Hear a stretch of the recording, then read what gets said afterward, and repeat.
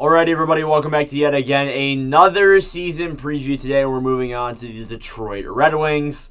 You know, the past two previews I've made for this team, actually, like, in every single one, I'm trending in the right direction with this team. Here we are, yet again, another season preview for your Red Wings. And this is the first season where I can actually say maybe they make the playoffs next year. It is definitely a possibility. But before we do that, let's take a look at last season for your Red Wings. They went 32, 40, and 10 for 74 points. They scored 230 goals and only let in 312, and they missed the playoffs, obviously. They had a lot of blowouts. There was that like 12 to 3 uh, blowout against the Pittsburgh Penguins. They had multiple against the Coyotes. There was just a number of blowouts within Detroit. It was it was pretty unbelievable. Uh, the leading scorer was Dylan Larkin with 31 goals, 38 assists for 69 points. And then obviously their leading goaltender was Alex Nedeljkovic with a 20, 24, and 9 record with a 3.31 goals against average. So, uh, there when you obviously look at this team, although there is negativity of them getting blown out in some games, excuse me, um, there was some positives. There definitely was. Uh, Raymond, Seider were probably the two biggest ones. Uh, Seider obviously won the Calder Trophy this year.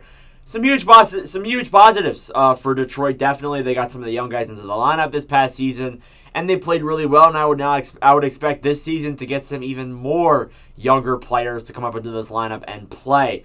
So they had actually a pretty eventful offseason, starting off with their departures here. Uh, Marc Staal, Sam Gagner, Thomas Greiss, Danny DeKeyser, Carter Rowney, and Olli Juolevi. No big players here, no players here who are really just eye-opening that they're gone. Besides maybe Thomas Greiss, because Greiss had some sparks of positivity, but it obviously wasn't going to work out in Detroit. He's moved on to the St. Louis Blues now. So that's your departures list no players, and again, no players that are really eye opening and really surprising that they're gone. When you look at their acquisitions, though, there are some eye openers. Uh, Andrew Copp, David Perron, Dominik Kubalik, Ben Chiarot, Olli Maatta, and Ville Husso. So they really locked up some of their um, some of their um, holes in their roster that they had. Obviously, with their departures and what they had overall, they got some very to- solid top six additions and Andrew Copp and David Perron. Got some depth in Dominik Kubalik. Got a top four defender in Ben Chiarot and Olli Maatta. And then he obviously got your probably your starting goalie this coming year in Ville Husso. So you have some very good acquisitions here uh, all around for the Detroit Red Wings. I like them all altogether. Um, some very good, uh, just again, very good additions. I mean, there's really nothing else to say. Uh, starting off here with your top six for their projected lineup, you have Lucas Raymond, Dylan Larkin, Tyler Bertuzzi, Jakub Vrana, Andrew Copp, and David Perron. So I like that top six overall. Very solid uh, players in that roster. Obviously, they're a very good first line of Raymond, Larkin, Bertuzzi. Uh, Copp there as well in the second line. Perron may actually uh, get a chance to play in that top roster, especially if the Red Wings do trade Tyler Bertuzzi. There's been looming rumors of that. There's been rumors of that for forever, though, so it's not it's not new. There has been looming rumors of that for a long time. So I would imagine maybe Bertuzzi gets traded this season, uh, maybe during the trade deadline, potentially. That's just that's just a rumor. That's just me spitballing. Uh, but maybe, maybe that happens. Uh, moving on to your bottom six here, you have a few injuries actually. Dominik Kubalik, uh, Pius Suter, Filip Zadina, Adam Erne, Michael Rasmussen, and Oskar Sundqvist. Then for some of your depth guys, yeah, Robby Fabbri, who's going to be injured for the start of the season, uh, Joe Veleno, and Givani Smith. I've been a big fan of Givani Smith for a long time. Very good player. Should be good again this coming season for the Red Wings. Uh, but obviously, there you have some young guys coming into or in this roster in that bottom six. There you have Pius Suter, obviously, Kubalik, Zadina.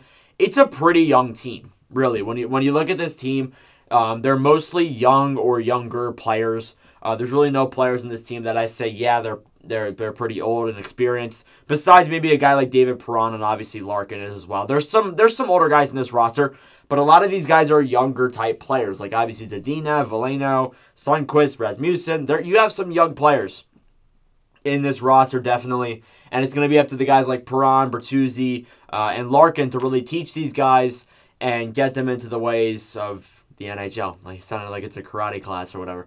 Uh, but uh, very solid uh, forward core overall. I like that. And I, one thing that I realized uh, when I was watching my previous season previews for these teams is that I said for Detroit, and I could only say this for for one other team, the Rangers. I don't have a problem with anything on this roster, and I, I really don't. Um, a, a year later, like I really don't. In fact, I like it even more than I did before. So obviously, there uh, you look at your defense, you have a first pairing of Olli Maatta and Moritz Seider. I'll get to that in a second.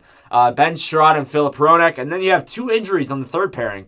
Uh, Jake Walman, who's going to be out for a little bit to start the season, and then Mark Pysyk, who's going to be out until probably around January. Uh, it's really unfortunate there to obviously see Pysyk come to his new team and then get hurt. It really stinks. Uh, Jordan Oesterle, Steven Kampfer, and Lindstrom. Um, I think it's Nicholas Lindstrom. It's not the not the uh, the one who's insane. Uh, then or it might be Gustav Lindstrom. I'm not sure. There's so many Lindstroms in the NHL. It's, it's just so complicated. But uh, Lindstrom's obviously one of your fill-in guys there as well. So you do have some players uh, to work with on that blue line. I have Maatta with Seider because uh, Seider's supposed to carry Olli Maatta. Maybe they put Ben Chiarot on that first pairing. Maybe, maybe they just prove me wrong. I don't know. But the really, and, and if there's only thing that I could point out here, maybe the problem is the defense. You don't see any really huge name players in this blue line. You have Seider and Chiarot, and that's really about it. You don't see any really huge players on this on this defense. So obviously, there that is something they may need to look at. But I don't think it's a problem right now. I really don't think it's a problem. Uh, Detroit could, Yzerman, Yzerman could have some tricks up his sleeve come the trade deadline, goes out, maybe trades for Chychrun. I, honestly, Detroit could be the dark horse. I mean, I'm going to say it right now. Detroit could very well be the dark horse uh, for Jakob Chychrun there. And then obviously there you have your goaltending team of Ville Husso and Alex Nedeljkovic. Then you have a third string of arguably either Sebastian Cossa and Jussi Okinora. It's such a confusing name to say. Um, Jussi Okinora, quite a quite a name. New addition, by the way. He's not. I didn't put him in the key um, acquisitions, but he was he was one of them.